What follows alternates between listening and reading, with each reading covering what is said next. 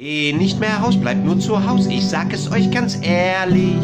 Denn draußen ist ein Virus und der ist sehr gefährlich. Hände waschen nicht zu knapp, mehrmals ruhig am Tage. Wenn die Zeit vorüber ist, sehen wir uns keine Frage.